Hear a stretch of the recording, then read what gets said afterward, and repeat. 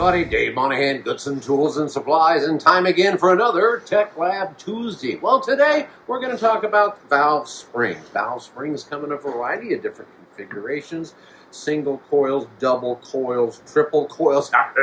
yeah, triple coils like these top fuel dragster, 11,000 horsepower springs, probably putting out 1,200 to 1,400 pounds of pressure. Monsters. They have uh, new beehives that have been out for the last several period of years, and uh, they come in a different sizes and pressures. It's important that we know what kind of pressure our valve springs exert. I know there's a variety of different high quality manufacturers out there for valve springs. And when you order those valve springs, you're going to get a, a, a certificate in those valve spring sets that's going to tell you these springs at this height should equal this pressure. And uh, before you even get to that point, uh, you need to also be aware of the machine itself. And that's what I want to talk to you about today. We offer not one, but two different valve spring testers. Our first one is the analog, all analog version, right here, VST60G, has a 600 pound capacity. It's got a 5 inch diameter Ashcroft scale right here that reads both in pounds or kilograms. Its pounds is 10 pound increments all the way through its 0 to 600 range. It's got a 2 inch diameter platen, and I take a height of about 4.5 inches of the overall length of a valve spring on this unit.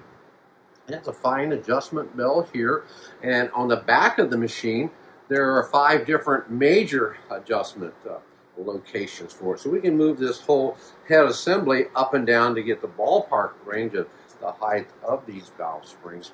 But when we fine tune it to get the specific height to measure a specific pressure, that's where this adjustment of this belt, we just undo this nylon uh, set screw here, then we rotate this counterclockwise or clockwise to get whatever end result we're measuring. And again, as we measure here with a with a quality spring measure, we want to make sure our height is correct. And, and what they've done uh, on this analog machine, I always like to keep my calipers handy because uh, with an analog machine, we've also got an analog dial in thousandths of an inch over here. So you can say it's got to go to, say, 1 600, 1 700, or whatever that might be. And of course, that's going to be written on this scale, but again, you've got to confirm that with your dial calipers. One thing I like about this one, it also reads metric. So on this side, I can do a quick flip, and now I'm working in the metric uh, dimensions of those same heights that we have on the other side at the uh, thousandths of an inch.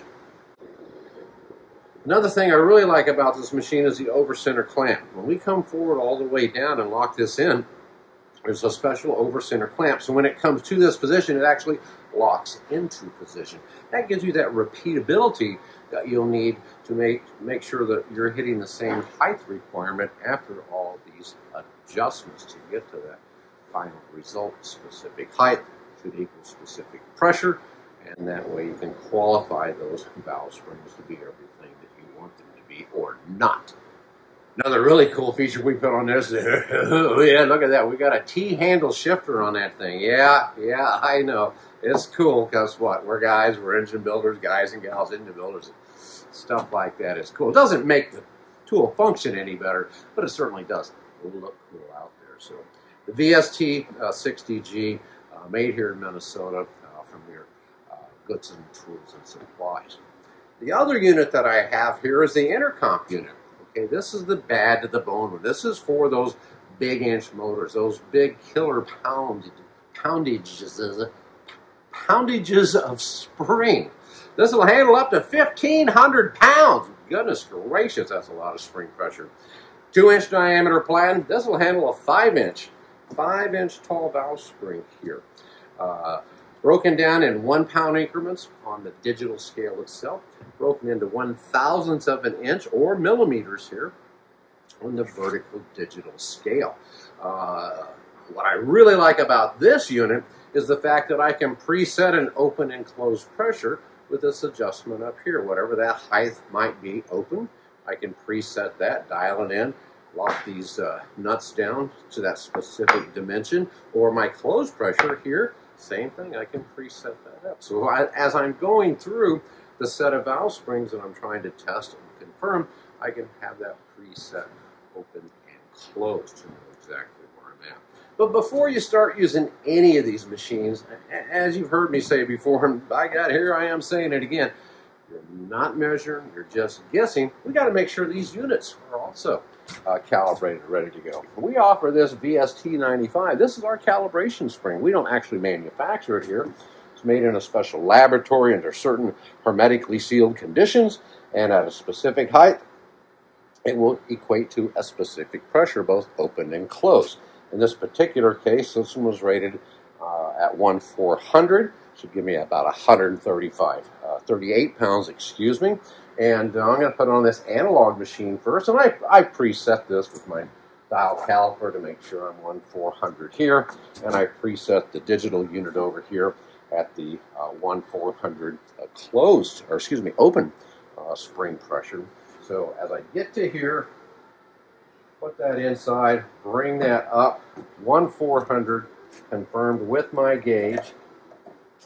I'm getting the recommended uh, poundage that I'm supposed to have at that point, which is right at 138 pounds. I'm a little bit over on my adjustment.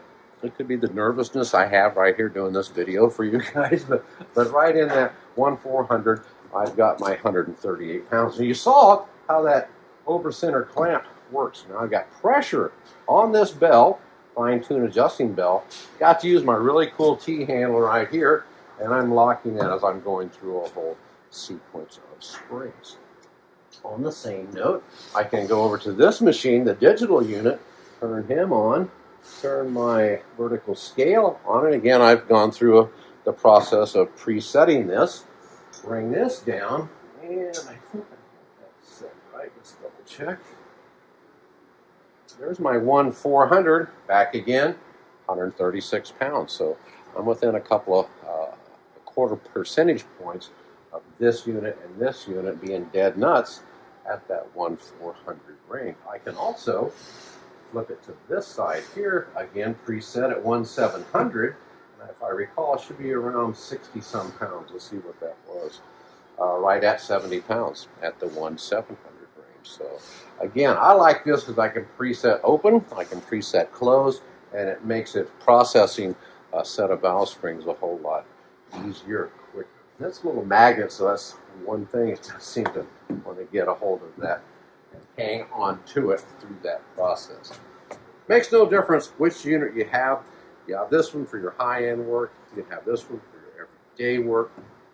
There are more sophisticated and, and computer uh, uh, direct connect uh, spring testers and raters out there, but you can't beat uh, the VST 60G 600 pound analog machine or the VST 2000 fully digital 1500 pound capacity spring tester from all your friends here at Goodson Tools and Supply. So if you have some questions, give us a call at 1-800-533-8010 or catch us on the web at goodson.com. Thanks for watching. We'll see you next time.